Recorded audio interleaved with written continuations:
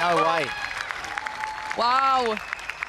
Love to see it. Paul Coll's really gotten into that side of things, and that is a wonderful kill, but picked up again. Oh!